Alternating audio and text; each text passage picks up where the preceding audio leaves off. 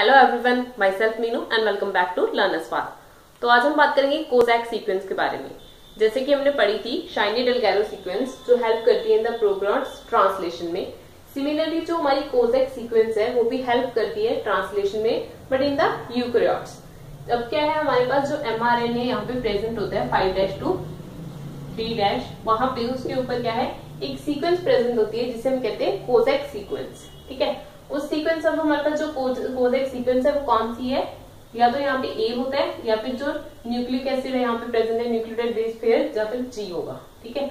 उसके बाद क्या है double C then A U G जिसके ऊपर क्या है हमारा इनिशिएटिव कोडोन है, वो प्रेजेंट होता है। उस सीक्वेंस को हम क्या कहते हैं?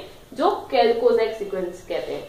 अब ये हेल्पफुल कैसे करता है? हमारी जो प्रोसेस है प्रोटीन सिंथेसिस या फिर जिसे कहते हैं कि जो ट्रांसलेशन है, उसमें ये हेल्प करता है। तो किस तरह से हेल्प करते हैं? अब जब राइबोसोम आता है, वो क्या करता है? एक तरह एमआरएनए को हमारे को क्या करता है? स्कैन करता है, ठीक है? राइबोसोम क्या करेगा? एक तरह से रिकॉग्नाइज करेगा कोजेक सीक्वेंस क्योंकि यहाँ पे क्या है इसका? जो ट्रांसलेशन का इनिशिएटिव कोडन है इनिशिएशन स्टेप में इनिशिएटिव कोडन यहाँ पे प्रेजेंट है एयूजी ठीक है? तो उसको रिकॉग्नाइज करेगा और इस तरह से हमारी क्या है? यहाँ पे आके हमारा राइबोसोम क्या होगा? जैसे ये सीक्वेंस यहाँ पे प्रेजेंट है, ठीक है?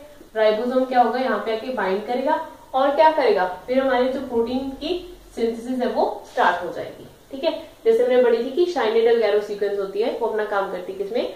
वियो प्रोक्रोट्स में। तो ये काम करती है जो कोजेक सीक्वेंस कहाँ पे? इन द यूकरियोट्स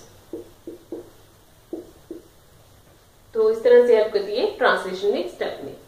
तो ये था कोजेक सीक्वेंस के बारे में। अब हम देख